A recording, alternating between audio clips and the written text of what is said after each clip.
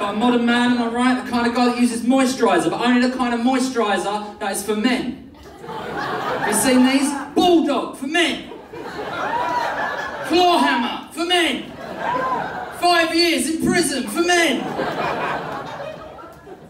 It's got an aggressive name like that. You don't need to put for men at the end. No one's wandering around boots, going up to the cashier, going, "Excuse me, uh, this GBH is it pour homme?"